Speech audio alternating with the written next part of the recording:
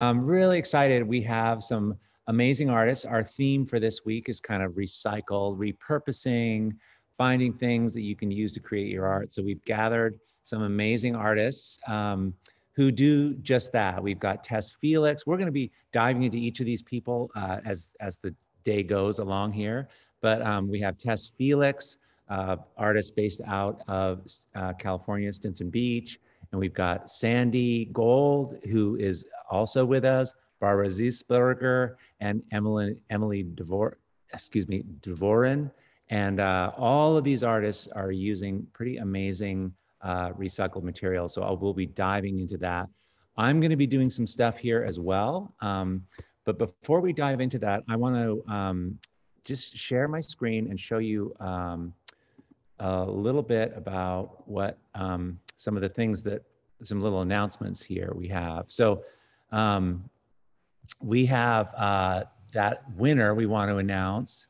Um, this is congratulations to um, Maria Thompson. Oops, sorry, hold on a second. Uh, present, there we go. Uh, yeah, so congratulations um, uh, on this beautiful piece here. This was, I believe, from last week. Um, so she'll be getting, and she's used the hashtag, and she'll be getting a $50 gift certificate to the art store or Amazon. Um, and these are some cool things people sent in that were hashtagged. Uh, this thing with Linda repurposing her microwave glass plate for a palette, and uh, Sandy, who's um, using her leftover paint and making collages. It's, it's, pretty cool. And these pizza boxes, which is great. I had never thought of that. Like, it's like pizza boxes are perfect um, art boxes, you know, and uh, like it's so obvious, right? anyway, this really cool thing uh, Elizabeth's got with these mixed repurposed papers and acrylics. Uh, I'm going to be doing that today. I'm working on some collage stuff, building up some paper. So I'll be just doing, that's what I'm going to be doing today is just taking paper from the studio. I've got some tissue paper and some other things. And I'm going to be, um, while we're talking, that's what I'm going to be working on today. So, um, and then uh, look at this sardine can from Fiona, these little sardine can paintings. Uh, it's so great. You know, like I could see a whole series of sardine can paintings. It's great. I, I don't think I've ever seen that done. And they're just beautiful frames, you know. And uh, Nancy Gunther, uh, look at this cigar box. It's pretty cool. Um, really, really great. Okay, so um, I'm going to stop my share for a second. and I'm gonna uh, switch over to my camera and I'll show you what I'm gonna be doing uh, right now. So uh, what I'm gonna be working on is, uh, let me just, don't wanna move this.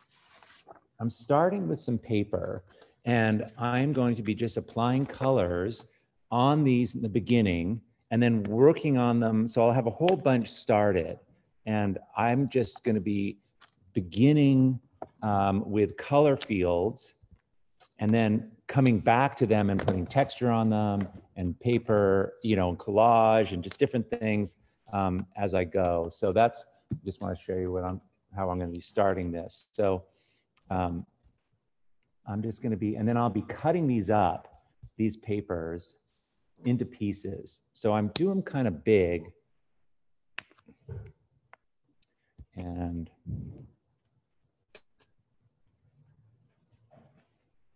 just some general color fields, like two to a page. And then I'll be cutting these during the call and going back into them. So I'll let these dry. And it's what's cool about this is it allows me to do some experimentation with some different colors and different mark making. Um, but I want to have a field of color that I can use to do this with. So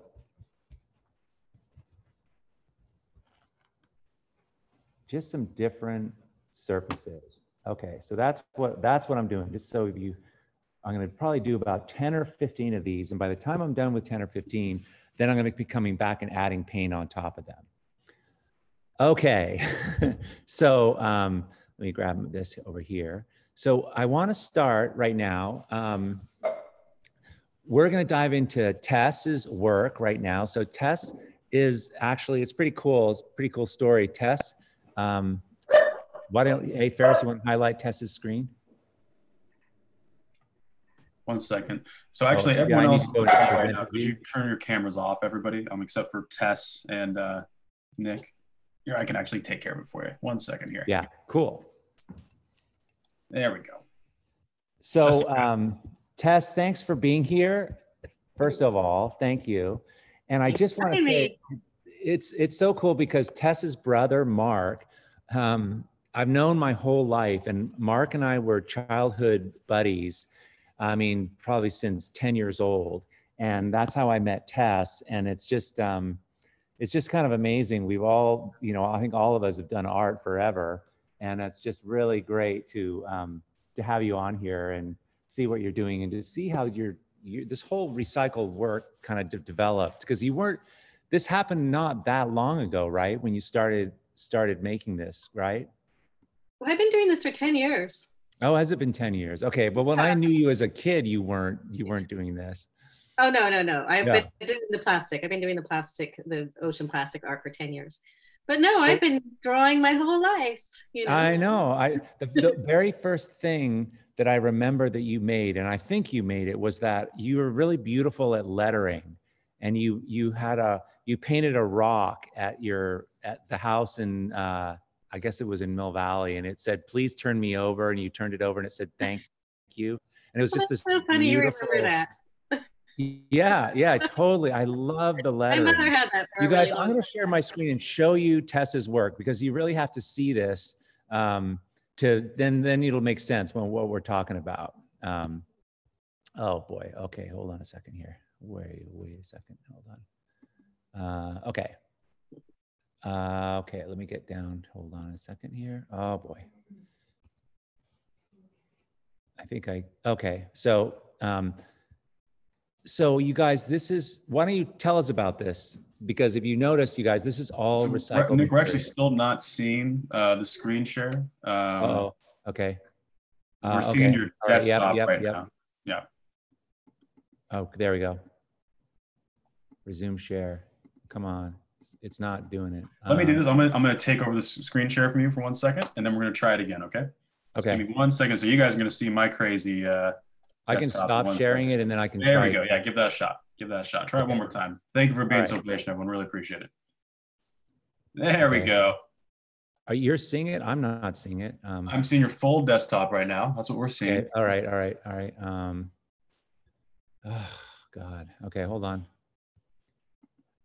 I'm just seeing my, You know, if you like, I could share the we go, here we go, to my here we go. side. now, can you see it now? There we go. Got it. You can see it now. Yes, we can. Okay, Coming great. Can, Tess, can you see this? I can. Okay. All right. So tell us about this. Okay, well, when I first started picking up ocean plastics 10 years ago, I wasn't aware that there was so much plastic in the ocean, and it was because of these giant storms here. Um, there was like two weeks of really high tides and major, major storms, and I think everything in the delta flushed out into San Francisco Bay and must have come and hit Stinson Beach because the whole beach was absolutely covered in color and it's never been that way since. I've never seen it way, that way since, but it was shocking to me. And I thought I would make a mosaic because that's what it reminded me of is a mosaic. So I started off by making a little picture and it and I brought it home the plastic. I did a picture a woman sitting on a bed and then I hit it with a blowtorch thinking that no, a heat gun, thinking I'd melt it all together. But it ended up just curling on the edges and I and I thought it was quite horrible and a, and a failure. So I took it down to a little beach shack and left it there. And the next day somebody had taken it. So I thought, oh, somebody liked it. So I'll make another one. wow. and you know, I do hairdressing at home and I would I lined them up where my clients would sit and people really responded to them. And they said, Oh, you can't give those away. You need to keep doing it. So I did, and then I got bigger and more intricate over time. And this piece on the left, this man with the uh, albatross on his shoulder is Chris Jordan. He is an artist and a um, photographer.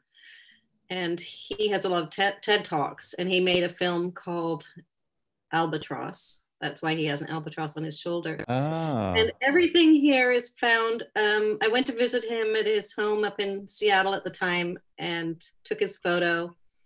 And he gave me pieces that were actually taken from the stomachs of albatross, dead albatross uh, from the islands in um, where the big, great garbage patch is. And now I'm totally blanking out because I do this sort of thing when I get nervous. But um, you know those islands. yeah, no, no. There's um, I've gone there's, totally. there's like an accumulation. Like I don't know. It's in the. I don't think it's in the South Pacific, but it's it's, rare. Midway. Midway Yeah, Islands. the Midway Island. Yes. Yeah. So some some of the plastic in this piece is actually from the Midway Islands. Um, I actually I, the the bird I found in an antique shop, and I just put it on there because it was so crazy that I would find an albatross made out of plastic, and um, it was a vintage piece. Unfortunately, the beak broke off, but oh um, God.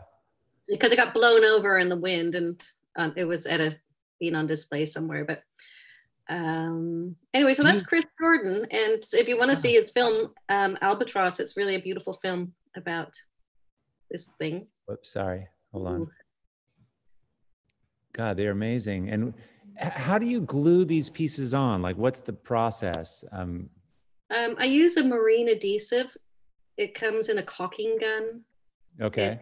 Um, really sticks really well. It's very toxic. It's really hard to use. You know, you squirt out a little bit and, you know, you get like four tablespoons when you only want a speck. And, uh, and then it dries, the, the surface of it dries really quickly. So when you try and dab it onto your plastic, it kind of bounces off your plastic and then you have to smear it on and then you get too much. It's, it's hard. it's, it's hard. almost like you, really you hard need like a, a thinner, you know, like a hypodermic needle to, I mean, there's so many pieces. Oh, it's crazy. In between every piece you see, there's little tiny pieces covering up the white background, you know, so there's specks. You know, sometimes I, when I'm doing eyes and around the nose and the teeth, and I use, I cut pieces the size of a fingernail paring. And, you know, to get that glue, you know, if i'm a caulking gun on a teeny weeny little piece, it's, it's, it's kind of, um, it's a little bit crazy. How long uh, will will it take to make one of these? I mean, they, they're huge. Well, this one's very large. Uh, think that's like 48 by 38, maybe. Wow. Um, this is about about four months.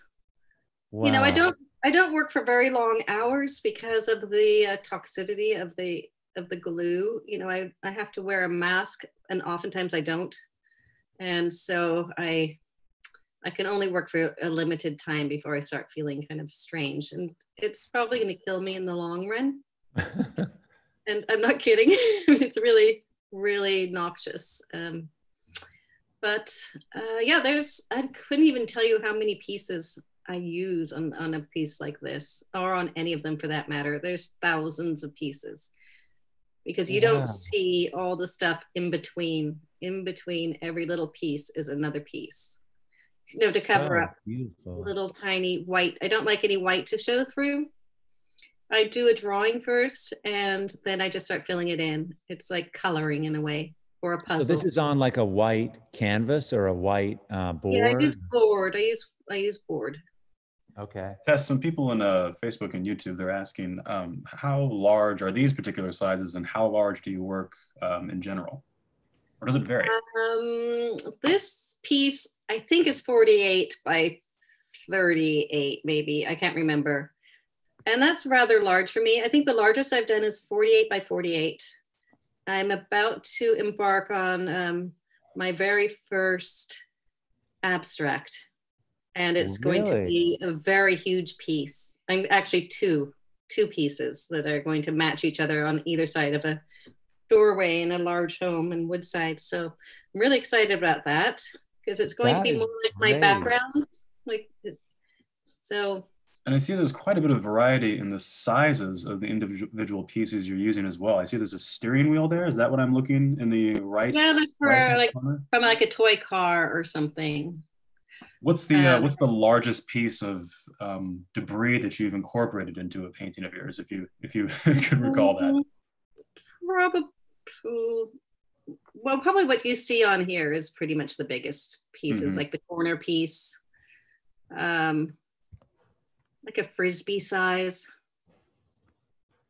Frisbee I love size. how you get all the pieces, like all the black pieces, and you know how it just it just looks like a black sofa, but then it you look up close and there's all these black. So none of those are painted black. You just find black and stick it in. Yeah, black is pretty consistent in holding its color. You know, the the two circles on the back of the the couch eh, are grayish, and they've probably been in the ocean for a really long time and faded.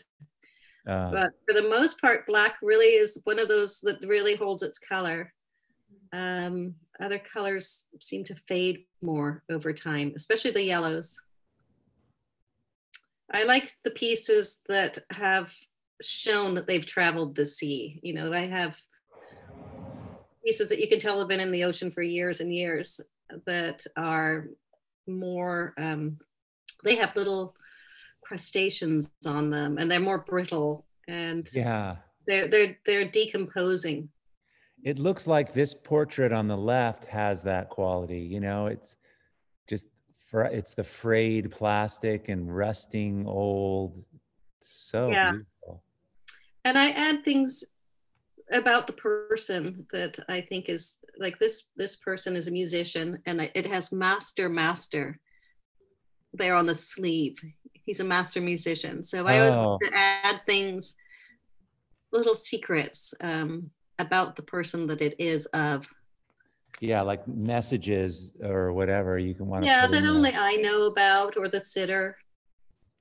So it's exciting to me to doing these abstractly you know like i i think that's so um i mean there's something it's wonderful how these are realistic but when the subject matter is going to go away i'm i think it's just it's going to really highlight the material do you know what i mean yeah, I'm a little worried. I'm a little worried that it's just gonna look like a pile of garbage.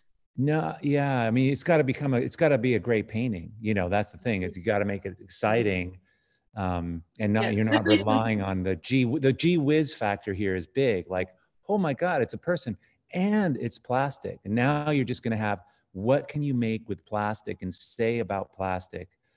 I mean, I, I'm totally think you're going to knock it out of the park, but it's it's going to be really powerful if you can pull it off. It's gonna be like 15 feet high. Oh my god, is this a commission then? Yeah, two of them. Wow. So No, that's exciting. That's Yeah. really cool. I I Well, bet it's going to be really freeing in a way because you're not you're not going from a photograph, you know, or having to like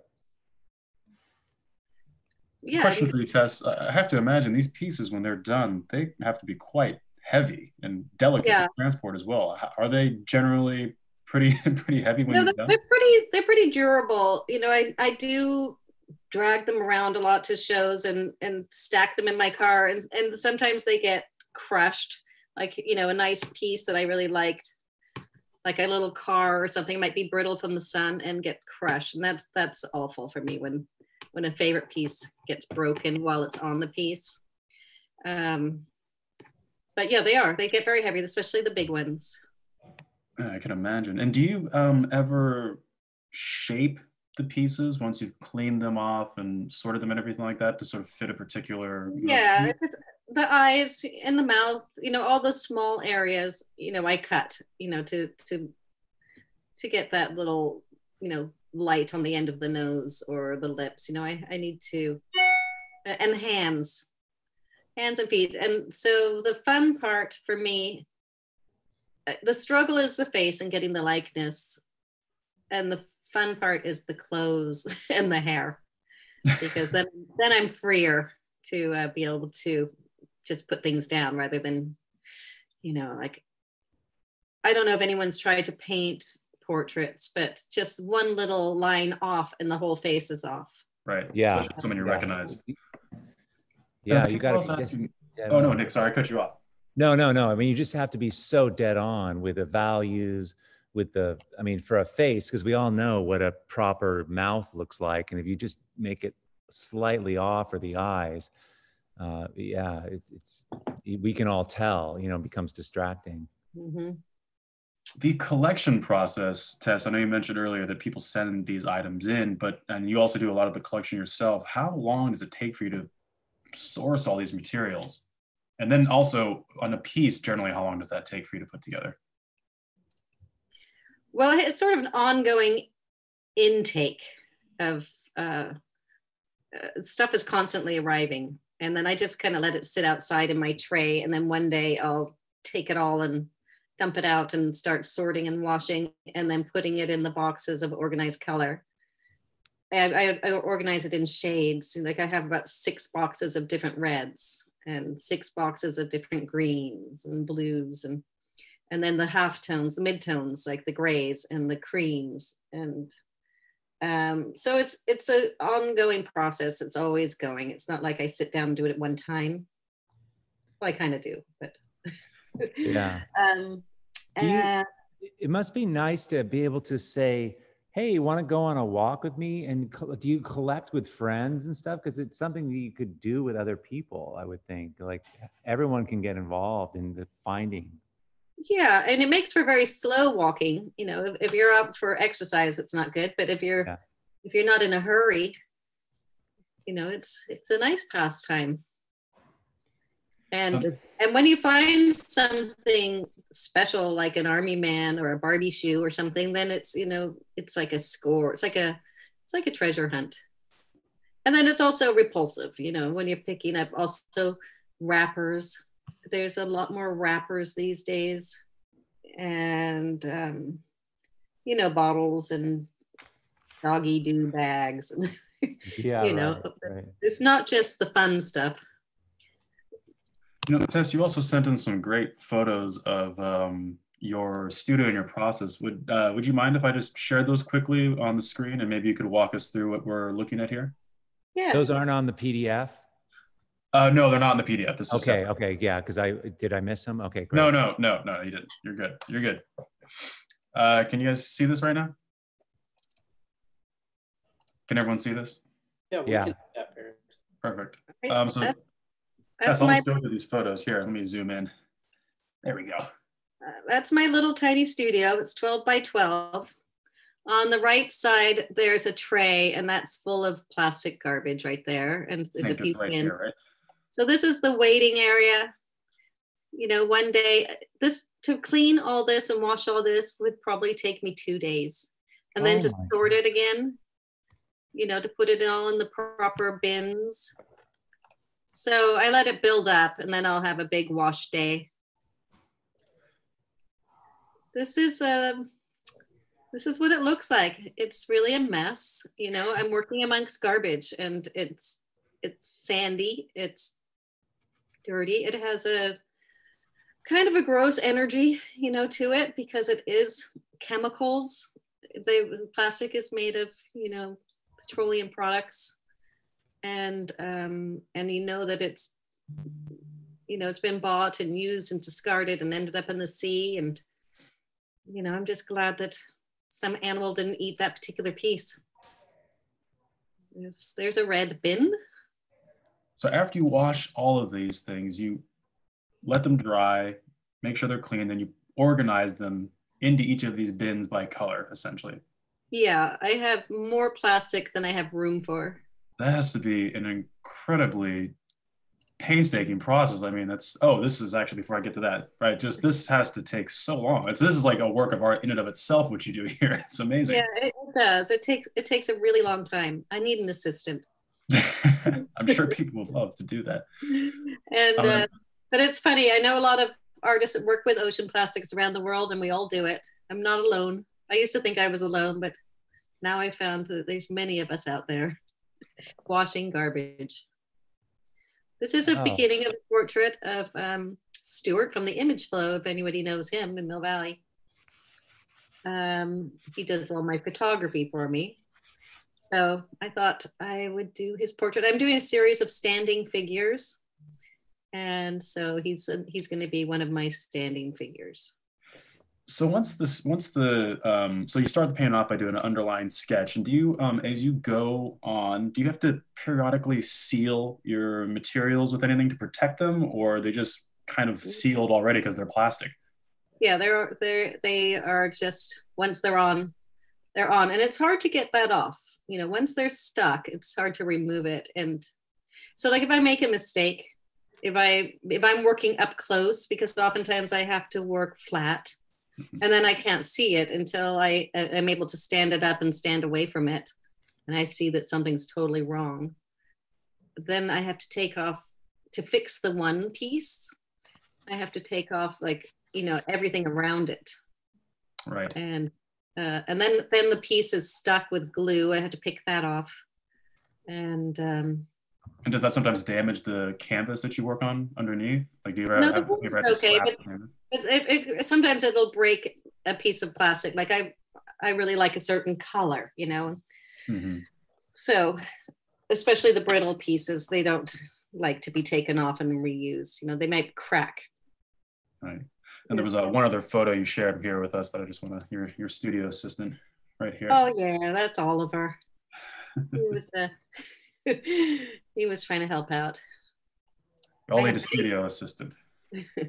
I'm, I'm curious, Tess, do you, do you find that doing this work somehow makes you feel more hopeful? Or, I mean, you're just constantly finding refuse and pl- more and more plastic. I mean, is this helping just in terms of the hopefulness or is it, is it just like, how, how does this affect how you perceive this global problem? And Well, it depends on the day. You know, Yeah. usually I feel pretty hopeless uh-huh. um, looking at all this plastic and you know as it's brittle and falling apart under my own fingers i know that's what's happening in the ocean that it's becoming you know turning into microplastic and which gets into every living, every living thing so um, yeah it's pretty discouraging but then it's you know the process of an artist is a whole different thing you know like to be able to create something out of it and to be able to you know it's kind of like magic in a way where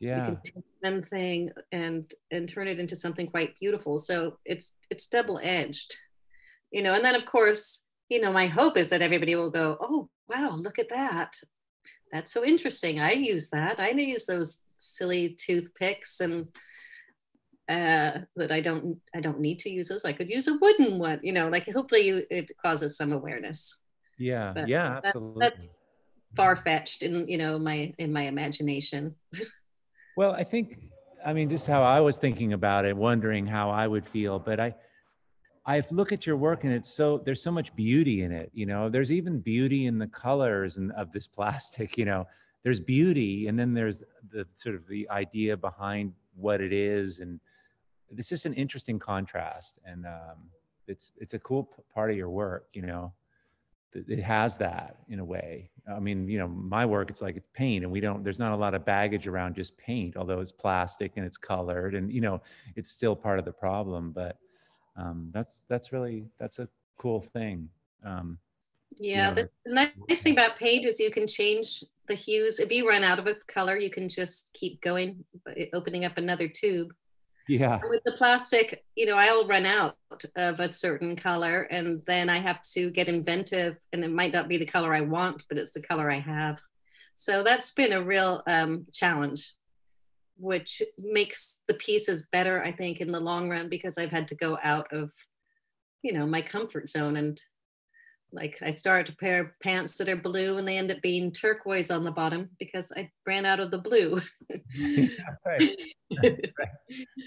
and um, another part that's really difficult is getting depth from the from the objects like um, to get like if someone's sitting for instance and their knees are closer to the front you know and, and their their body's receding behind it and then i've got a nice like tank you know or a or a barbie or something and i want to use that piece but it's but it's not the right shade to create depth.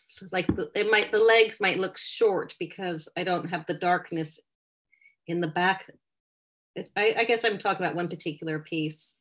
Yeah, yeah. So, I mean, um, it's pull hard- it off. I think you you're good at getting depth, but I mean, yeah, you you don't have you don't get to choose all the colors you need. You know, Right.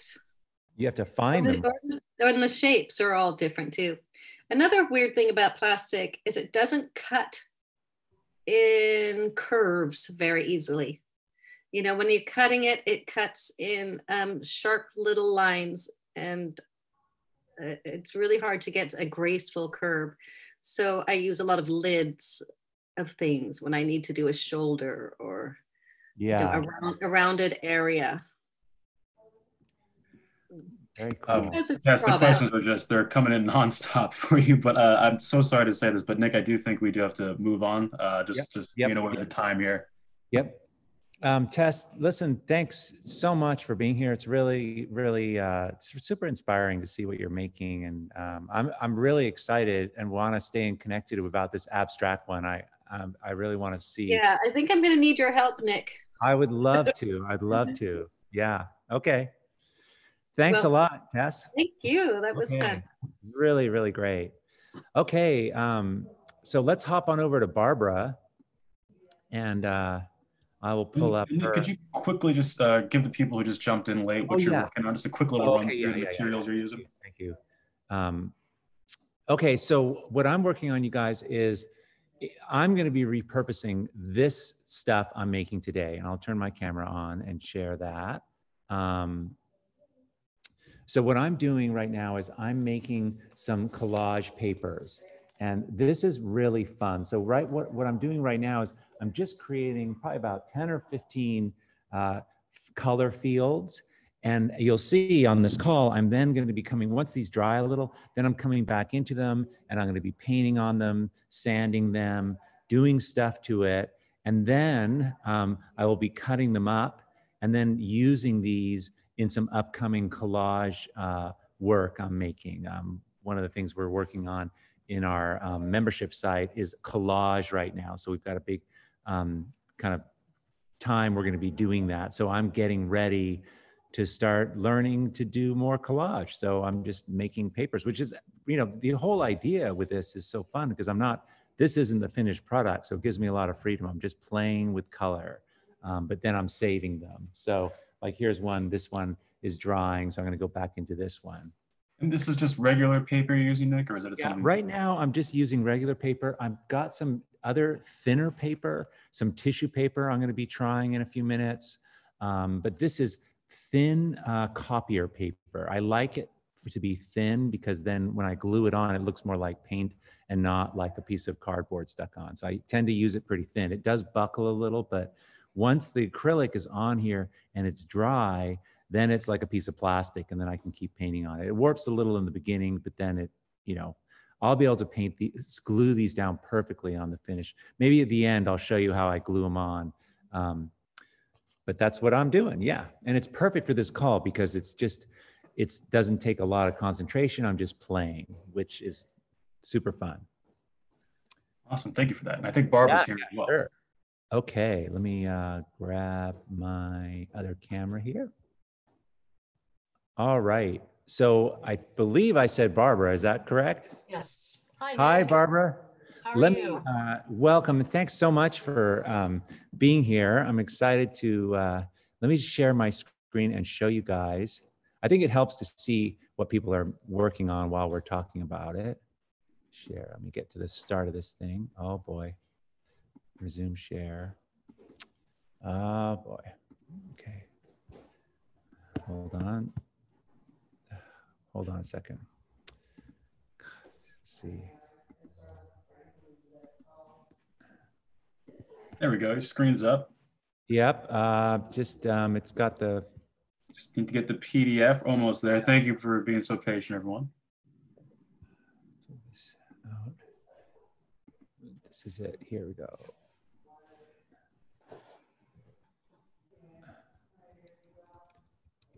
Let me get it here. Um, hold on a second. We on the right? Where are we? That looks good. Yeah, we see Barbara's name right here. Okay, cool. I just. Yeah. make sure that for some reason this thing is.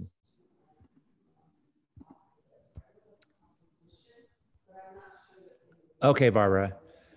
Ah, sorry about that. Okay, so I love the subtlety in your work and just what you're doing with this. I guess it's corrugated cardboard paint. Tell tell us about this. It's so cool. Well, I, you know, just using materials that I have. So I, I just started using cardboard um, because we had an abundance of Amazon boxes around the house. Yeah, no kidding. And um, and I, you know, I was initially I think I was hesitant because it's not archival, but I I didn't really want to. Uh, I didn't want that to prevent me from just working with it and playing with it and experimenting with it because it, it really is kind of an interesting material.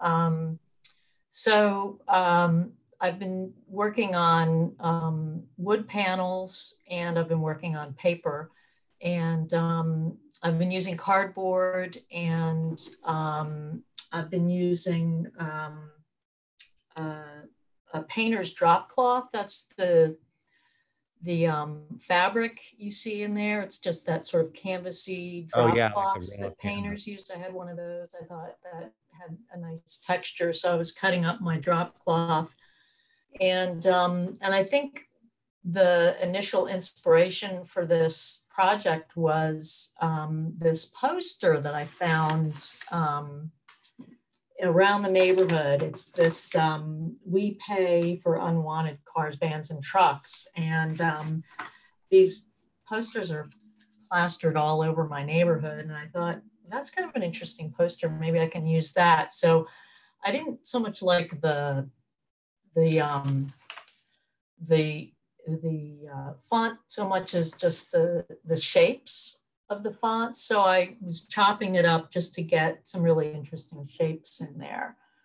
And um, What's And I cool is just- that you're using. I love how you're using. You're using. You're finding stuff, but then you're using the paint, kind of washing over it and creating these really muted palettes. right, just trying to um, pull it all together, I think. And I, I like that kind of, um, you know, it- it's an overused term, but that sort of wabi-sabi kind of uh, worn kind of looks like it's seen better days kind of a feel Yeah. to it. So, um, yeah. So I'm I'm working on paper. Um, some of the uh, other materials are. Um, I I was there was some, uh, somebody took a tree down in our front yard, and I wanted to do a rubbing of the pattern in the tree stump, and it didn't work out so well. So I thought I would just try to do a rubbing of the bricks on the side of the house. So um, this piece on the right, there's a piece of white paper that has sort of this graphite, sort of speckly stuff, and that's the. Um, it's just a rubbing. It's a graphite rubbing of the bricks on the side of the house. Um, so I'm just trying to use, you know, materials, just pulling stuff out of the trash. You know, the inside of um, security envelopes are kind of fun because they have funny little patterns that can be used. Um, just recycling stuff. This one on the right, that's that's an envelope. Um, the top section there, it says, please recycle this envelope. Um, I like to use um, uh, sketchbook paper, the little perforations. Oh, right. Really fun to pull off and twist and So how do you glue it all together? Like, what are you using to glue it? So on the paper pieces, I'm using, I'm gluing it down to um, uh, vellum, basic um, uh, vellum, Oh, really? like mixed media. It's, it's, uh, you know. So it's like a thick, a thick plastic. No, it's a, it's a paper. It's a- Okay. It's a moderate, it's a little thinner, I'd say, than watercolor paper. but it's a smooth finish, sort of a mixed media type paper. Um, have. You made these really large yet, or is this the biggest you go? I've I've been working on 12 by 12 inch um, panel, square panels, and uh, the paint, the one on the left that you have pictured, that's uh, 20 by 20. So I'm trying to scale up.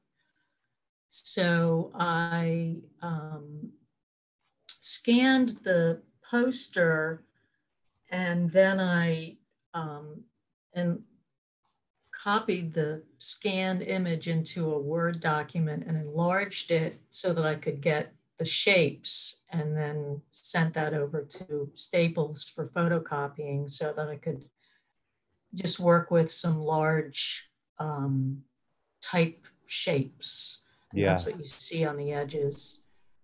And I'll probably have to go back over that with paint, either cutting them out and painting over them or using a Posca paint pen or something over them because I don't think the, uh, I'm not sure the toner um, ink will be too light fast, but we'll see.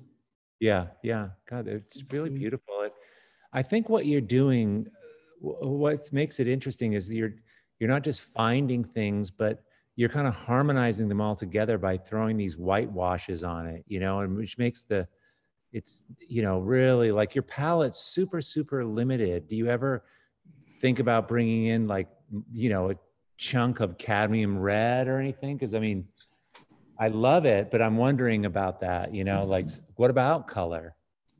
Uh, color is, you know, I work a lot with um, Chinese ink, and so I'm used to working in with a limited palette. I, I use do a lot of black and white and earthy tone things, um, and color's a challenge for me. So I, I have I do have some work that I've done in color, also a very limited palette, um, pinks and sort of off greens and things, Yeah. but. Um, that's gonna that's gonna be a project for me. I, I do I love color and I love what you know. There's a lot of artists I I love their work and it's colorful, um, but um, getting to the point where I can feel comfortable putting colors together is gonna that's another project for me. So Yeah. I'm working on it. That's so great. You're just like, well, it's not my, I'm not super confident in color. And so I'm just having a great time where I'm at. And it's, that's so cool. yeah. Uh, We have a few people on Facebook asking, and my apologies if you already said No, this, uh, but how, how do you adhere these materials to the supports? Okay, that's right. You did ask that. Um, so for the works on paper, um, I just use the Elmer's purple stuff. It's just this, uh, it's a glue stick, Elmer's glue stick. And it's, I like the purple because um, you can see whether you've missed a spot and then it disappears. And for the works on um, wood panel, I use uh, gloss medium to glue it down. And um, for the, the cardboard, I just pretty much press it down. For the paper, paper when it gets damp, it starts to buckle up. And so you have to, um, you have to kind of push it down really, really tightly and continue to go over it to get it really flat as it starts to buckle when it gets um, damp. So I use these, um, it's a plastic, um, sort of a scraper. Uh, I think I ordered these. I think they use these in um, car body shop um, places to. I'm not sure what they do with them. I guess they smooth areas when they're doing body work on cars, but these are great little plastic tools. Um, and that's what I use to smooth the bumps out of the paper and pull the excess um, medium out from underneath the piece. So that's what I use on the wood panels. And then I put, um, after the piece is completely glued down, I'll put, um, I'll use the gloss medium to put an isolation coat down. And then I'll use a matte varnish over that. Golden or Liquitex. And do you have to be pretty generous with your application of the glue, or is there a specific, you know, ratio that you use or anything like that? Or you just kind of more feel it out?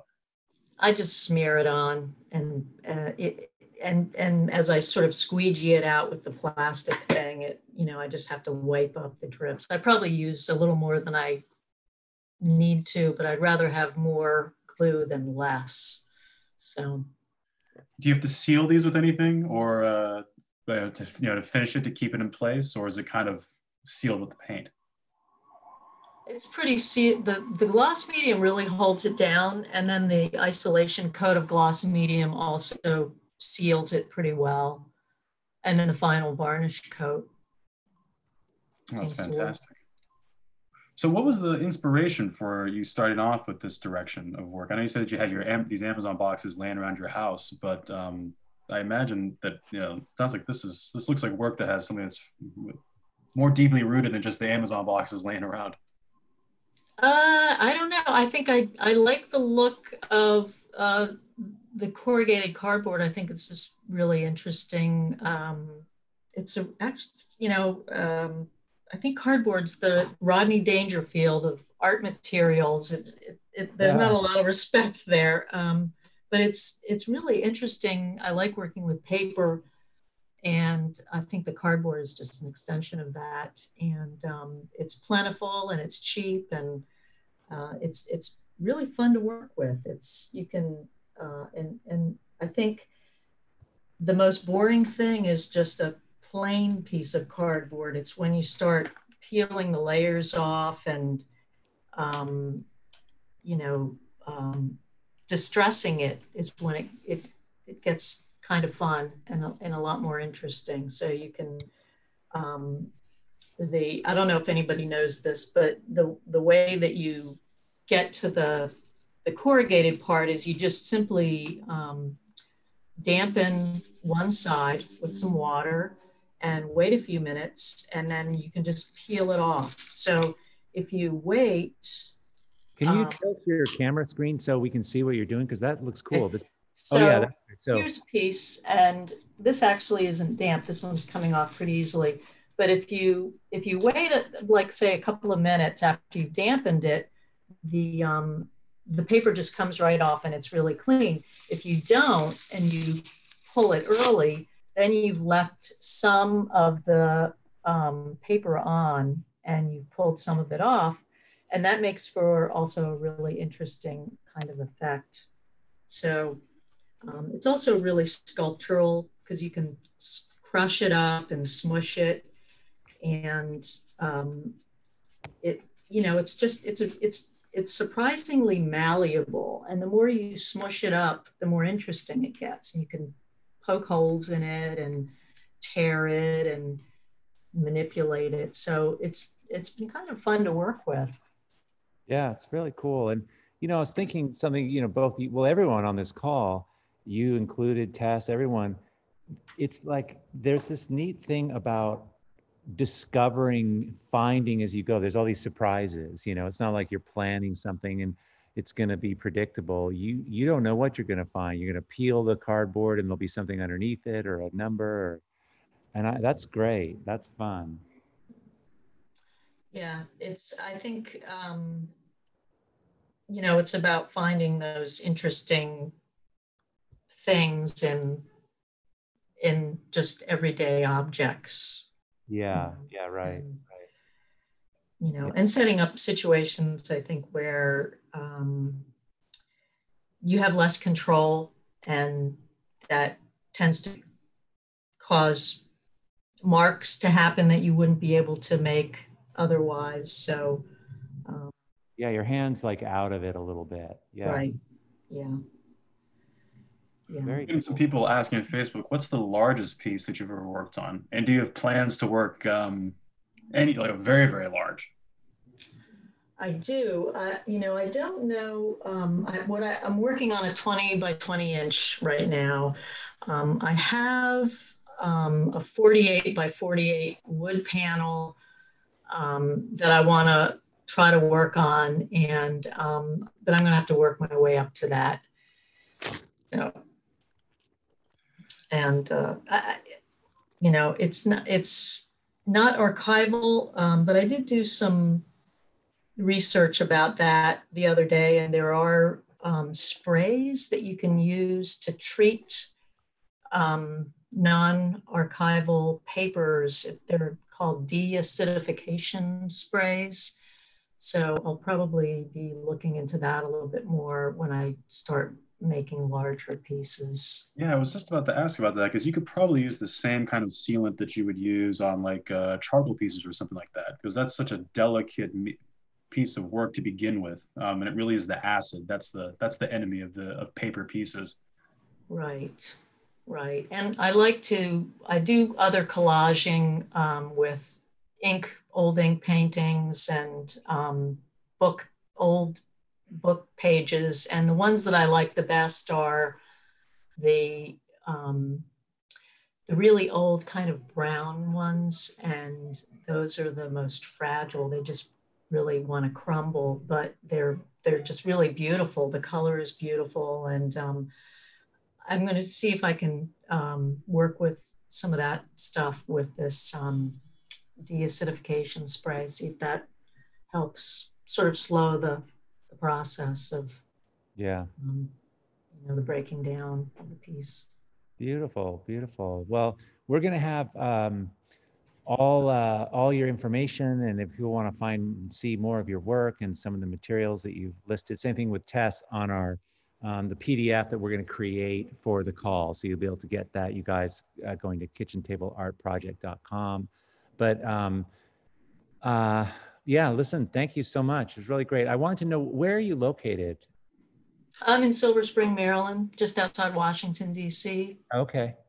And and one other question: What who, who what artists are sort of inspiring to you that you know you've looked towards that do this, or like who do you love that you know any collage people that Oh gosh. Um, I mean I there's of a like, lot of folks on, on there are a lot of folks on Instagram that I Yeah. I look at um ju- and it's because I just see their work. There's a particular artist whose work I absolutely love. I don't think he's working in cardboard right now, but um his name is Luc Pierre and he does a lot of paper uh, collage type work yeah, and um it's just I, I love his work. Um, yeah. Yeah, it's it's uh, you know it's funny because when I think of yeah I think of Kurt Schwitters and you know think historically, but it's kind of wide open now. You know, like there's just so Yeah. many people doing this, but there's historically, I mean, there's some, but um, I don't know. It's cool. Yeah. Um, Taylor White is another one. Um, he does a lot of work with um, fabrics and paper and cardboard and spray paint. Um, he's Yeah. doing some really interesting work too.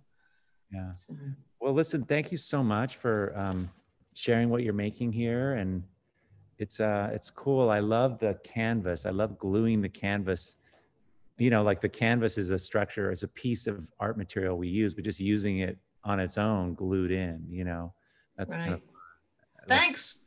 Well, yeah. thanks for having me. Absolutely, absolutely. Again, we'll have all her info in the links, and uh, we'll probably follow up with a couple more questions on, um, you know, some of the materials you're using. But awesome, thank you so Great. much. Thanks. Okay, Bye. all right, you guys. So I'm gonna, um, so while I'm just still working away over here on this thing, uh, these are, so now you can see I'm taking these papers and, you know, a lot of the cool stuff starts to happen when you put paint on top of other paint and then remove it. And you saw like this was, like this is such a beautiful surface and I'm going to be cutting these up once they're dry. I'll be using these together with other colors, but I tend to, um, you know, roll the paint off.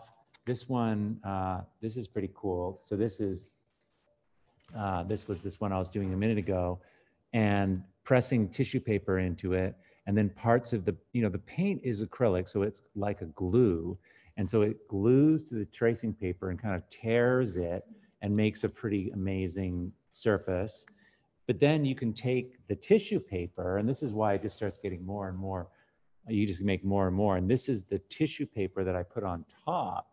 And then I'm gluing that onto another paper. So now I have this as a collage piece as well, not to mention the original one, which I'm going to go back into in a minute.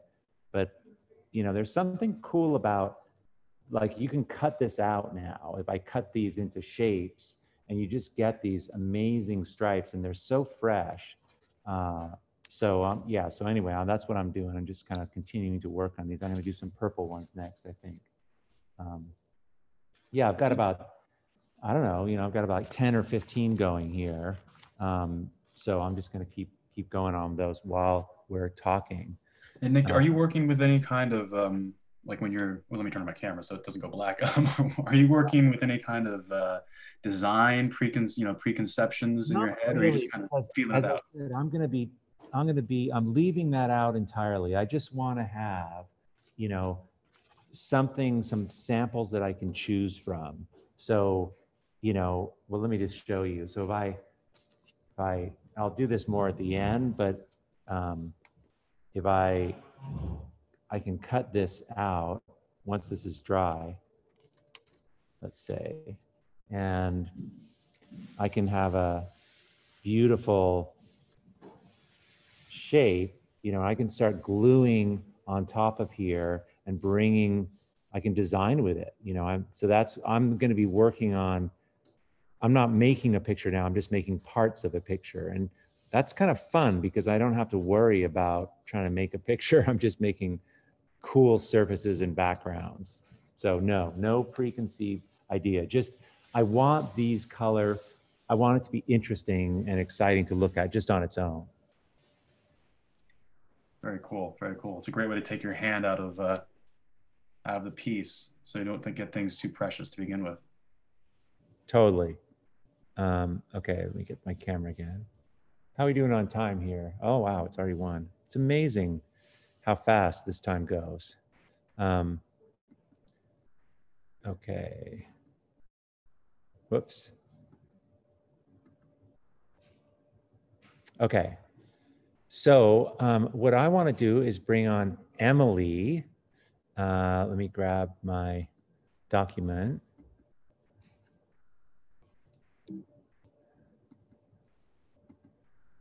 Oops.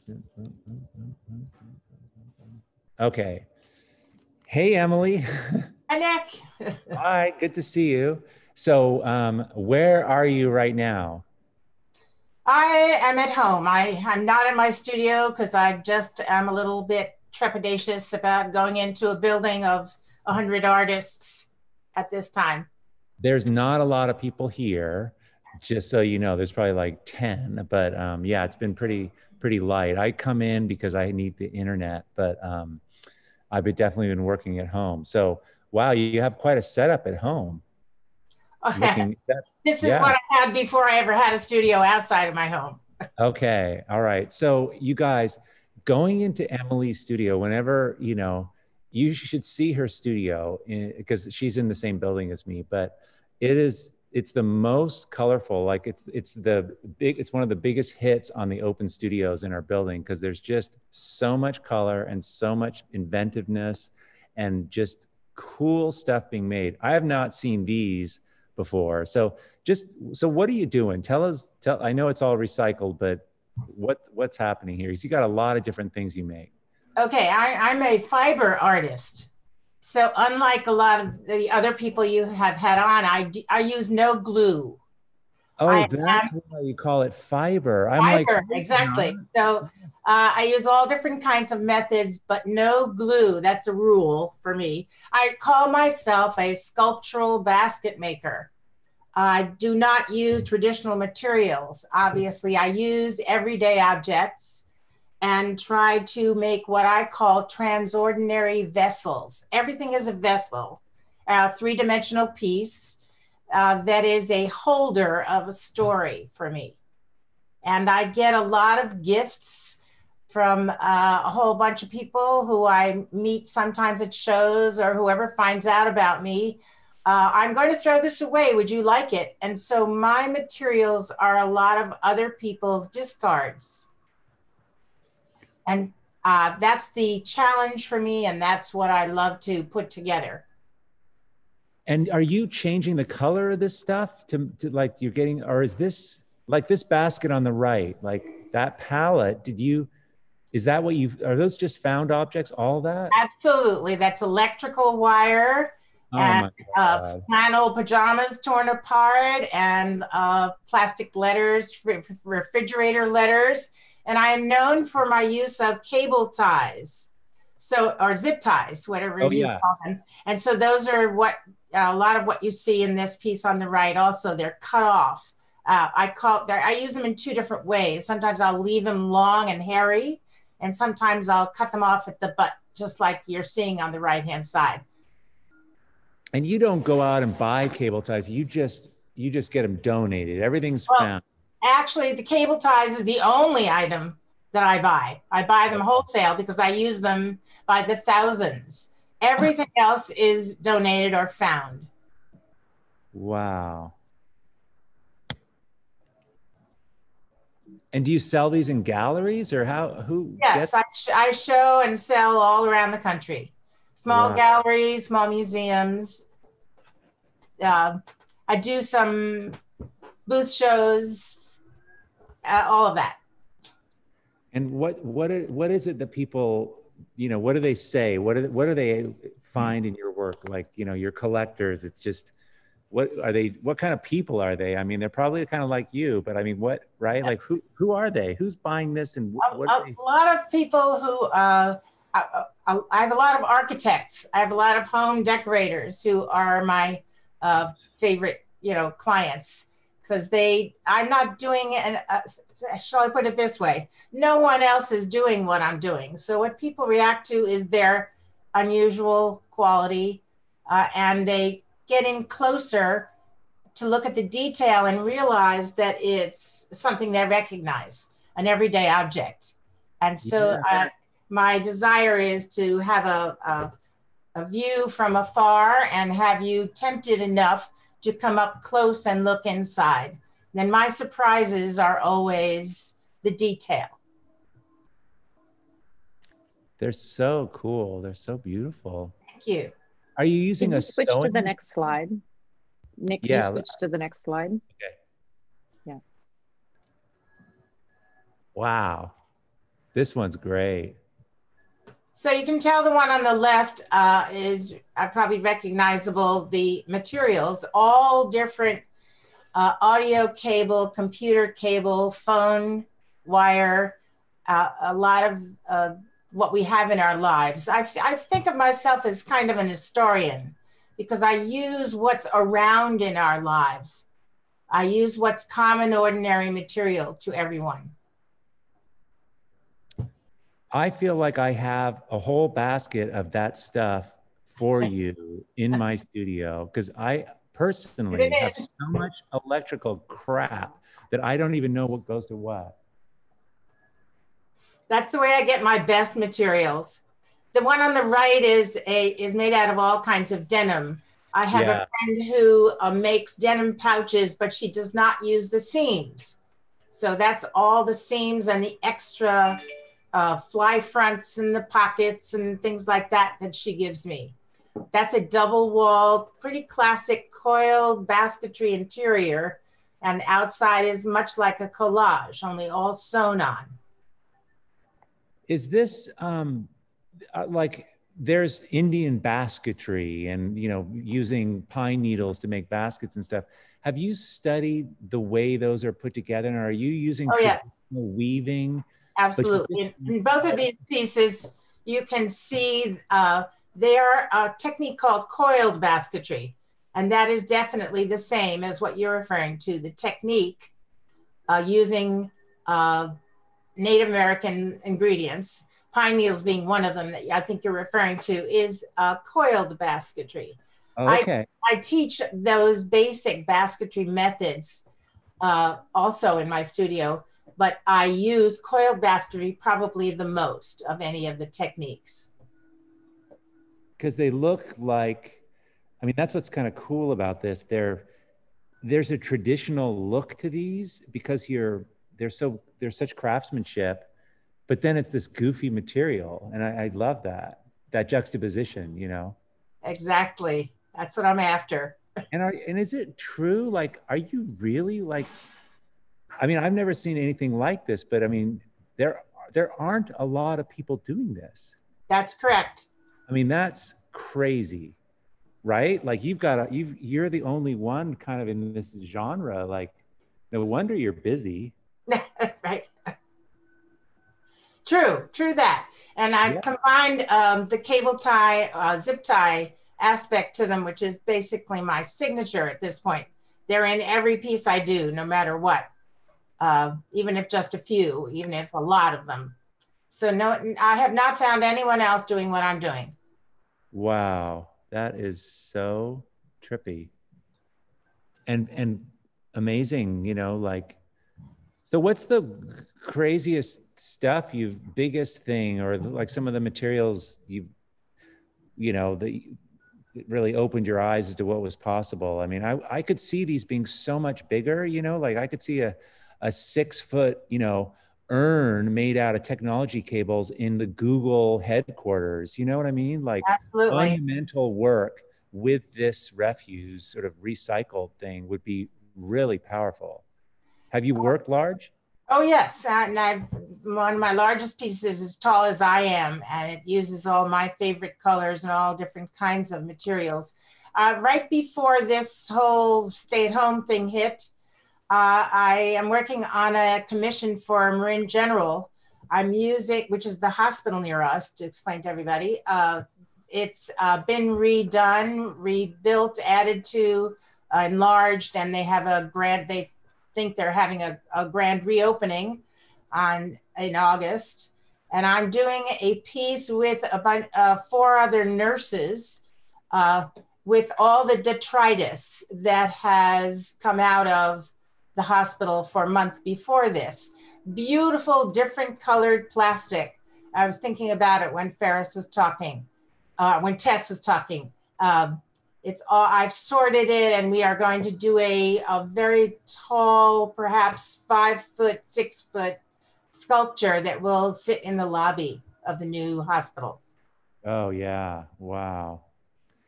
When I mean detritus, what I mean is like the caps off all the different meds. They're all different, a variety of colors. They're uh, all of the uh, things that usually get thrown away. Uh, I'm going to try to use in this sculpture. Yeah, yeah. And again, it's, you know, we think of pill bottles and prescriptions and all that stuff as not being, it's not beautiful, but certainly that will, you know, it's just, it's what Tess is doing, you know, it's just taking this stuff and making it into this new form where you notice it and appreciate it, you know? Right. Wow. I love your home studio. Thanks. God, kids, if kids- on. you have kids come over and like do stuff with you because that's like my if I had a house like that when I was a kid, it would have I oh my God. I do go into third through uh, eighth grade and then sometimes college classrooms and do art with kids. Yeah, right, right. Yeah, it's just great. Thank you. Yeah, really, really. What are those dolls behind you? I'm just curious. I kind of like those. so yeah, over very, and when my kids were younger, uh, I made them clothes and I made them dolls. And so those are just examples of dolls that I used to. That was a lot of years ago. Mm-hmm. Wow. That's amazing. God. Well, that thank you so much. It's just Thank uh you. Sarah, is there any questions on there uh, about uh, her work and Uh, Brandon actually uh, took over hosting for me for one second, uh, just because I was uh, helping uh, set up the Instagram live again. Um, okay. I guess one one um, Emily was how did you get started with uh, this with your work? Like, was what was the? I know that's the question everyone asks, but what was what was like the underlying inspiration if there was one? Uh, it kind of bizarre because uh, in the uh, 70s and 80s, I was doing macrame and selling that and doing large orders for curtains and plant hangers and all kinds of stuff. Took a one day workshop. Now I give one day workshops, but I took a one day workshop at, in the basement of the old uh, uh, Academy of Sciences in San Francisco. What made me choose this, I don't know, which was uh, sea kelp basketry and had that aha moment in the class, what, deciding that I had to go three dimensional.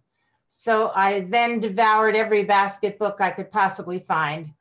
And uh, I just got into basketry on my own. I'm self taught, but went way beyond and without uh, knowing it, got wilder, wilder, wilder in terms of the use of my materials. I still use the basic basketry techniques, but my materials are drastically different. That's amazing. It's so funny when you mentioned uh, the basement of the old Academy of Sciences. That just brought up some deep childhood memories for me there. Um, your work has uh, some similarities to, I mean, I'm sure a lot of fabric artists get this, but some similarities to the structures you see in um, the sculptures of Ruth Asawa. Are you familiar Yes. with her work? at Oh, indeed, yes. Yeah. yeah, sort of those organic pulsing structures. It's, that's immediately what I saw. Yeah, Do they really. have a, a general size that you uh, tend to make these pieces or sort of? Uh, the, well, more general size is a pedestal. Uh, I'd like my work to be seen uh, either in someone's home or in um, a show on a pedestal. So I want you to be able to see all around it. It's three dimensional, so there's not a front and uh, you know a back. There's uh, all sides to it. So about a tape, you know, not a shelf piece, but a table or a pedestal size, if that makes sense. Yeah. Now you said that you started using zip ties uh, to sort of bind everything together. Did you always do that? Because that doesn't seem necessarily like the most obvious binding material for for weaving. I would say. I mean, I love it, but just it's so um, unique. Uh, I didn't always use it, but I have used it quite a lot in the last 15 years. So I'm known for it. Wow. Um, I guess another question is, just because of everything that's going on right now, have you had any issues with sourcing these materials? Some of them are so essential to your practice, or do you just have a stockpile ready to go? I have a stockpile, but also, frankly, I like everyone else. I looked around and I said, "What do I have?" Uh, I mean, I just made a piece uh, uh, that I finished in, in the first couple of weeks of um, this stay at home. Oh, I don't know if you can Look at that. see. Uh, so I took, I took three office bins, which I had here. And I decided to do random weave, which is another classic basketry technique.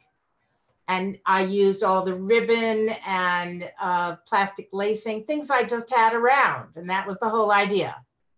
And this is sort of a house structure looking, Uh-huh. you can tell Very So- cool. that you know that, that's i i take advantage of what's around um Yeah, right. Opportunistic artist. exactly Yeah. Well, listen, thank you so much for being here. We're, we're, I want to hop on over to see Sandy's things, but um, thanks for having me I'm keeping the ICB building warm for you. So when you Okay. i can't wait to get back Yeah, yeah.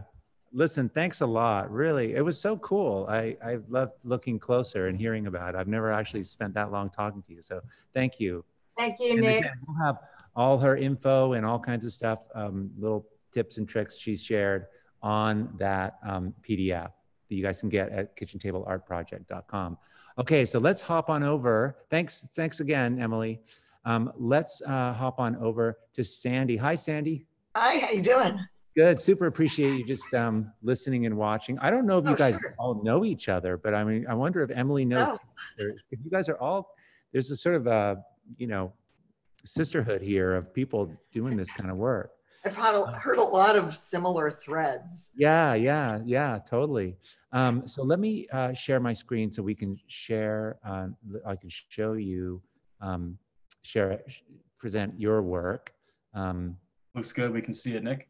Okay, good. Yeah. So uh, Sandy Schimmel Gold. Do you go by all those three, or is it I do Sandy? because I was um, Sandy Schimmel for 50 years, so Okay. Okay. most so- people know that name.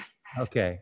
All right. So I can't wait to hear about this. So why don't you just tell us? I mean, I can see that it's collage, but I'm curious about scale and sources and Okay. Well, all of my work is made out of paper, um, and it's all mostly either junk mail or postcards that I've gotten. I use um, calendars, wallpaper samples. Um, Christmas cards are great because they have a lot of metallic in them. on Uh, the piece on the right, um, the veil part is painted, but and my handwriting is in some of those pieces in the background. So I don't color the paper. That's the color it is. So it's a very similar story. I find something, I sort it, I put it away. I've got bins behind me of colors. uh-huh. And um, when I start a new piece, I just kind of go through and pick a color I like and then find all the pieces that match. And I use an old school paper cutter, like, you know, like a, a guillotine Oh, really?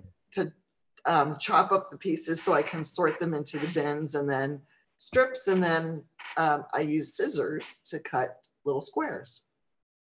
And why are you using, you just so you, you just make squares. So these are like chips, squares that you compose pictures with. Why, why that way? Why not tear them up or what, you know?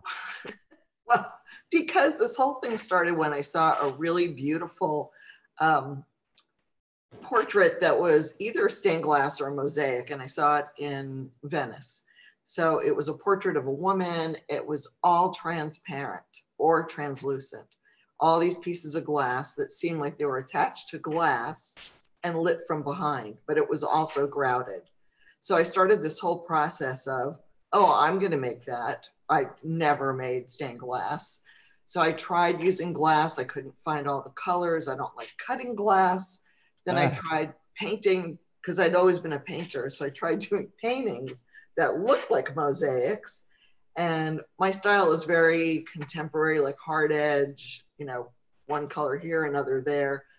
And one day, um, my parents who were cleaning out their house said, Hey, we have all these old greeting cards. Do you want them? And here's a paper cutter. And voila, that was like the eureka moment. And that's where it went.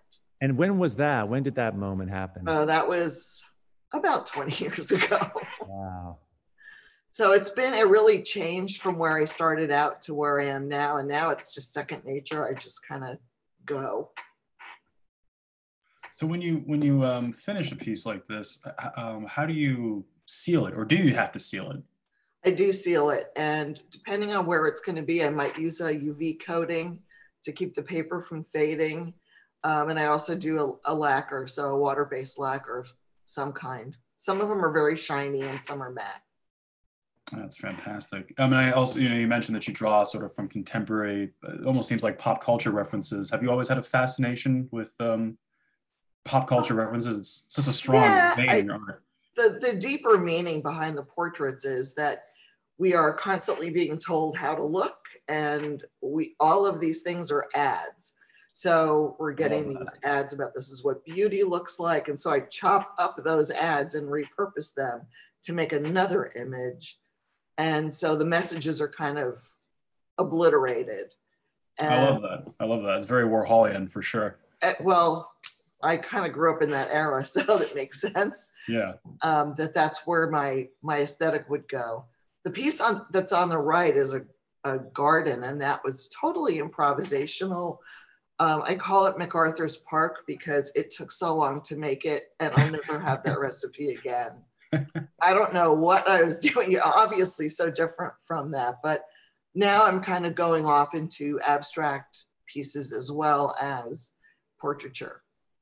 Nick, are there any more images in the slide uh, in this Yeah, let's show that we could just go through here?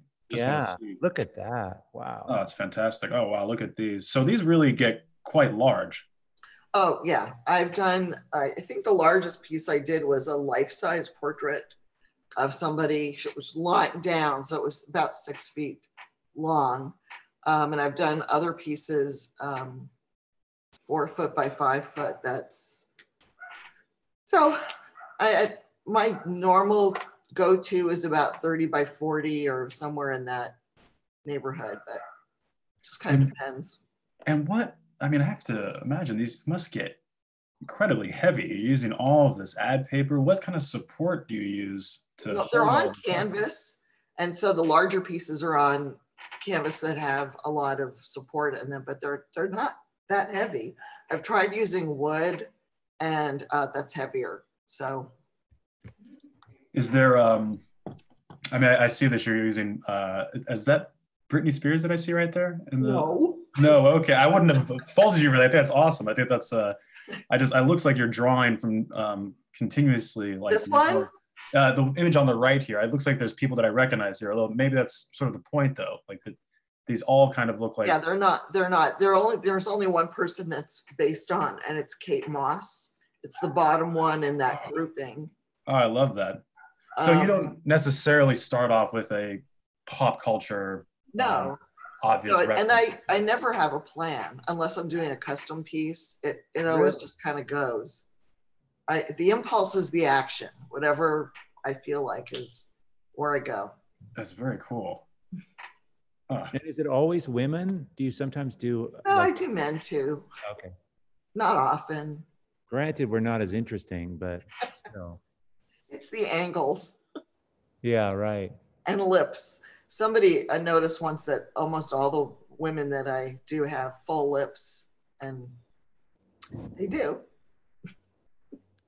Um, well, I think that the the imagery that you use it very it's very much in line with um, what you talked about.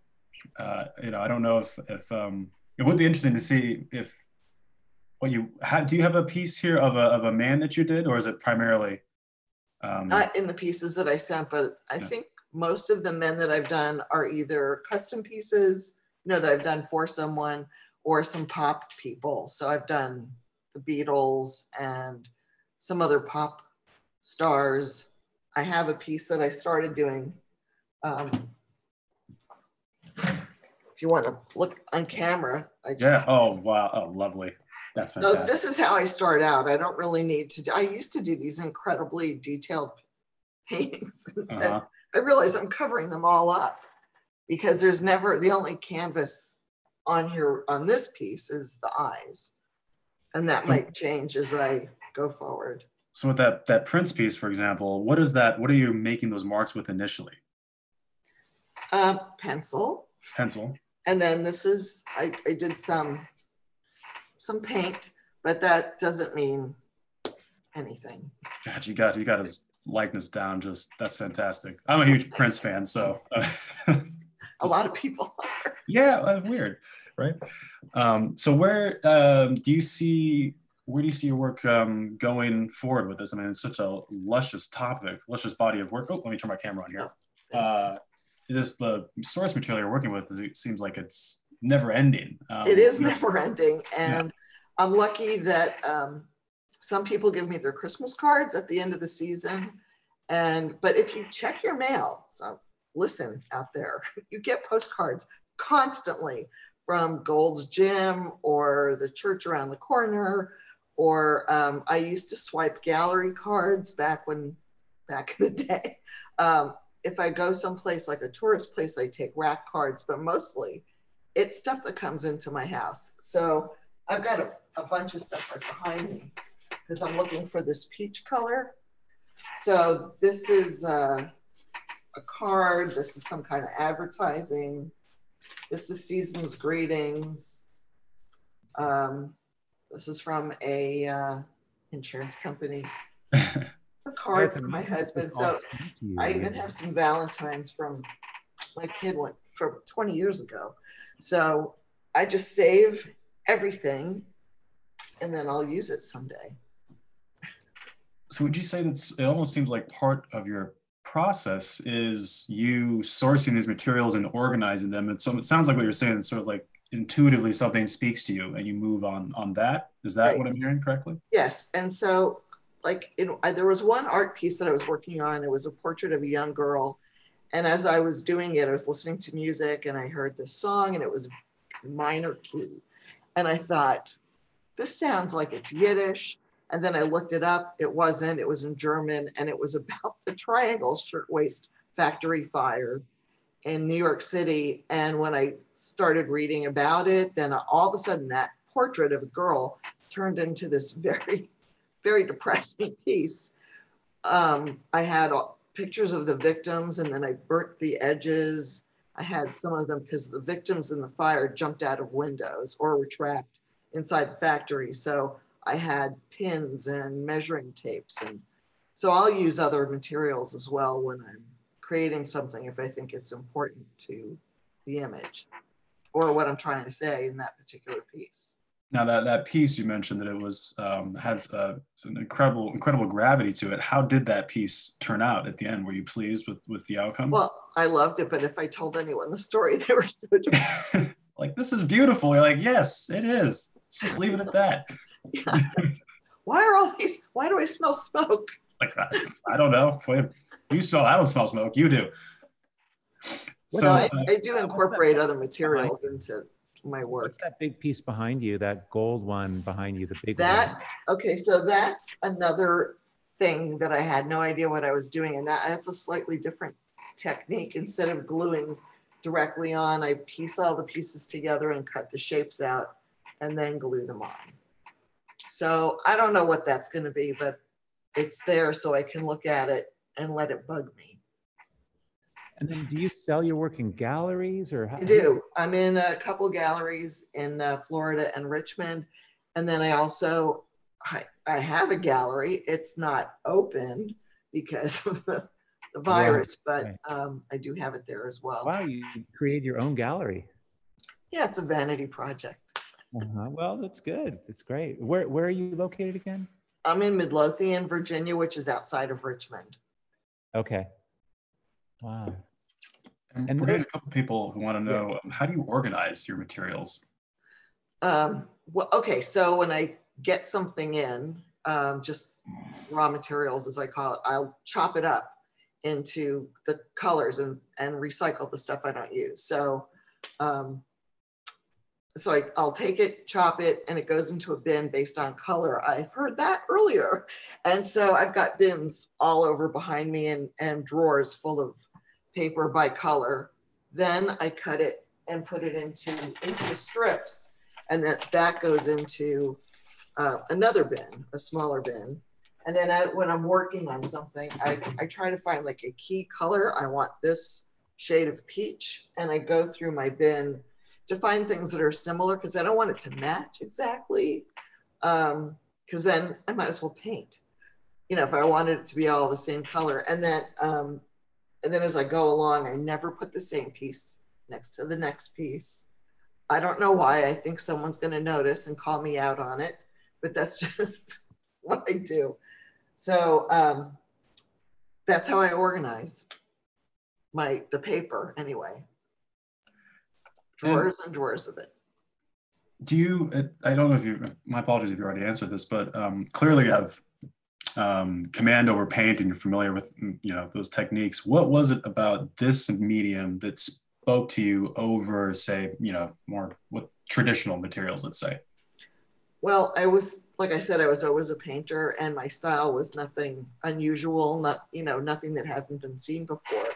And I went to visit um, America's most beloved cowboy artist, is what he called himself, and showed him some of my work once. This is a long time ago.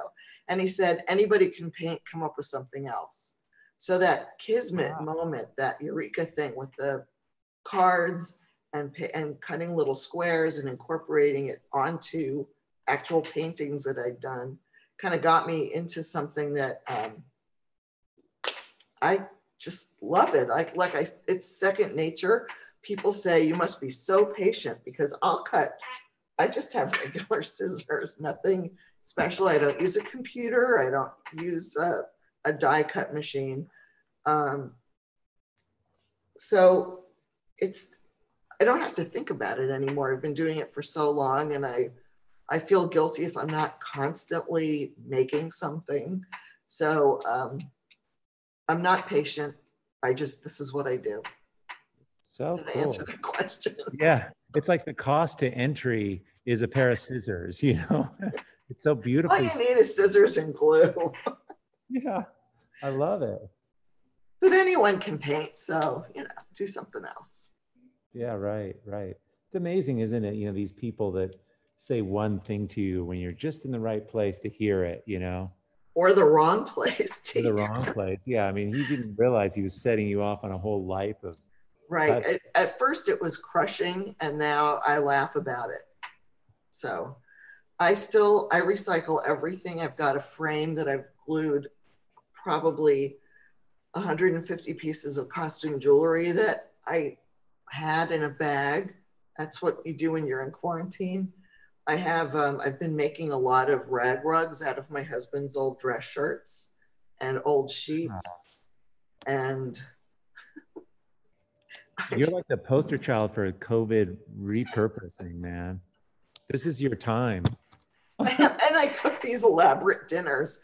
So a lot of people are suffering, and I feel bad for them because they don't know what to do. I have no problem staying home. That's Yeah, like, right. like, okay, I'll be home.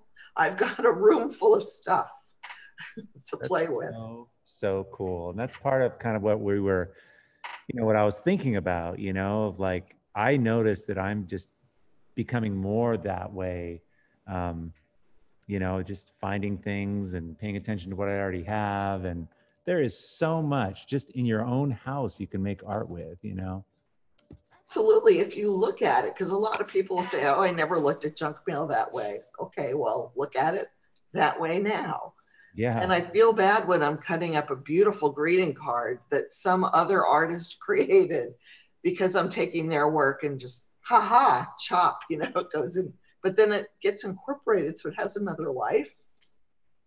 totally great. And I like it when people get close and read, you know, like what what is that about? I had one piece that was had a lot of um, advertisements from Hanes underwear. So when they got up close, their waistband, you know, or something about bras, it was pretty funny. I, I think you may have answered this already, but my apologies. I just got to ask, what do you use to seal your work again? Uh, I use a water-based lacquer, Okay. and I and sometimes a UV coating, which is uh, which I spray on. It's really toxic, and I hate it. so you have to do that outside. I, well, Yeah. yeah. yeah everything else i use is non-toxic i, I use um, like another artist we talked about earlier i use a glue stick as well because it is acid free and non-toxic and all of the the paint i use is water based so um, unless i if i don't use the uv coating at least i could tell people that the the art itself is green it's eco-friendly and won't leach toxins And coating it like that will also protect the colors as well, keep them from fading. It does because if it's under a, a really strong uh, halogen light, it could fade. But Right. that makes it more interesting too. I can imagine so. Yeah. Um, I'm I'm sorry to, to uh, be the villain here, but Nick, we have to be. We're coming up on an hour and a half here. I Just want to be aware know, I time. know. Just, goes so fast. I think we could talk to you, Sandy, for and everyone here just forever. It seems Yeah. like. Sure. Yeah, really, Sandy. Thanks. Let me just change my camera here. Thanks so much for um, uh, letting us see what, what you're making and just the spirit of, of everybody. You know, like just taking things and being creative with the things that you can make things with. It's just just like a whole world. Really, really great. So, um, so any anyone want to find all her information and everything, we're going to put it all on this PDF. So we, I presume you have an Instagram account, and most I people do. will get all of that on there. And uh, again, thank you. Really, so so cool. You're welcome. Um, okay, so I'm gonna. Um, yeah, we're already. Whoa, wow, man, we're already at the end of this thing. I can't believe it. Um, so I'll just share what I'm doing over here. Um, I'm just. Uh, you saw I kind of glue. I'm gluing this paper on, and I love it. You know, like there's just things that happen that you know now I can go back in painting and um, you know i'm just starting but i'm going to be layering and painting with these collage papers so uh, this is a different look that i can bring. it's my work but i'm assembling it in a different way so i'm kind of excited about about doing this so um, i can't see any comments i don't know if anyone any any questions but questions like i'm using gloss medium to glue this paper together that was Um, actually the next question I was going to ask. Took it right out of my mouth. Yep. Yeah. So gloss medium uh, is what I'm using as the glue. And I, you see, I can, because it's acrylic, I can cover the whole thing. It doesn't matter if the glue is, gets on this because this, you know, the whole thing's going to be coated with gloss medium. numerous times as I'm painting this thing. And after you've worked on this for a bit, after you have a chance for it to dry, uh, what do you what do you have any idea what you're going to do next with it? Well, right now I'm just working on getting an interesting design that I like, which I don't yet. Um, but um, then I will see after that. You know, I, I'm painting right now uh, on this, but then I'm going to put more paper on it and um, kind of go back and forth with it. So yeah, this is this will be a 12 by 12 painting when I'm done with it. This is on a piece of wood, you know, um, and uh, yeah, so it'll just be like my normal painting. But I'm playing around with this because I love making the I love doing this process, you know, like I love I love making creating different materials and paper. And there's something about looking at this and deciding if I want to add it into this. It's kind of fun. You like I would never think of this, but now I have it. I can add it into it. And it's it's sort of what we were talking about um, with uh, Emily and frankly everyone. It's this the surprise of oh wow let me see if this works. How would this work? Oh i would never would have thought of that but because you've got it you've made it it's just waiting for you to glue in or incorporate in some way and it, it creates kind of wonder and surprise mostly for me but also for the person looking at it. Um, so i don't have a lot of plans but i love this kind of thing. See how that how you get these little lines. I'm going to sand this when it's dry and you're going to see the little edges of the paper will come through, which will be really cool. And uh, just, I think you've answered this a, a couple times, but people always want to know. Um, to glue, to, to glue these down, are you using matte medium, or could you use matte medium if you wanted to? Or? Yeah, anything that's uh, matte medium or a uh, gloss medium, all of those. Even you could even use paint. All acrylic paint is just glue with color added. So if I want to add an element, I can, I can, once this is dry, I can just add gloss medium on here and then adhere, put it back on, you know. Getting a lot of people saying that uh, they're working while they're listening and watching this, which is very, very cool. That's the whole point. And it's, it might, you might, might not be as, um, you know, I, I like just listening and getting inspired. I mean, it was so inspiring just seeing what everyone was making today, but then letting it just kind of infuse into your work. This is one of the most fun things that we do. And I do this a lot at workshops, you know, once everyone's kind of in live in-person workshops, once everyone's kind of comfortable and they're making things, just talking and sharing and then just making work. It's kind of like I had no idea what I was going to make today, but just listening and playing around ends up with something. So it's, it's kind of fun. It's like being social and making art at the same time and getting inspired. So uh, I'd love to see what you guys have been making. So when you finish your things, or even if they're not finished, use the hashtag uh, Kitchen Table Art Project. And um, again, every week we'll you know choose a winner and uh, just random, you know, which is something that's cool. And you'll we have a gift certificate, a fifty dollar gift certificate. It's just sort of like a prize. But we also feature on the Art2Life World Instagram feed that person's work and uh, push their Instagram channel and everything like that. And that so, hashtag is for Instagram, right? That's for Instagram, but you can also use that hashtag in the artist face, the Art2Life Artists Facebook group. Um, there's links. Uh, I think people can put them in the comments where you can join, and um, people are making a lot of the, you know, um, using hashtags in there. And so we promote that work as well and we look at that work. So um, yeah, there's a lot of really amazing stuff being in, made in the um, Art2Life Artists free Facebook group. So please come and come and join us. It's really fun. And uh, any other comments or thoughts, Ferris, before we uh, wrap it up here? No, I'm just checking with our colleagues right now. Um, There's many things to say. Again, yeah. if you any of this information, if you want to watch the replay, if you want to get the, the PDF download, it'll be available tomorrow. It takes us some time because we have to circle back around and make sure all the links work. It'll be up there tomorrow, but you just go to Kitchen Table Art Project. And once you have that link, uh, you can get all the PDFs. Um, there's been a call like this. We've done five or six of these. Um, I don't know how many more we're going to make do, but uh, we're just kind of doing it because we're all at home right now. So I imagine as things open up a little, we'll probably uh, I don't know, maybe uh, do something else. But uh, it's certainly been fun, and we love hearing the feedback from you guys. If you and if any of you are particularly interested and want to come on, um, let us know in the comments because um, we circle back around with people, and you know, we're just this is just all about sharing, and uh, it's just really really fun. That's perfect. I think that's it, Nick. Okay. Thanks, you guys. Uh, enjoy the week. And again, I'll be talking about another theme on my Sunday vlog. If you want to go get on that list uh, or go to art2life.com, that's where my blog is. And I share stuff every week on Sunday. And I talk about the theme for the next Wednesday. So we got some cool stuff coming up. Thanks for being here. Really appreciate it. Okay. Bye, you guys.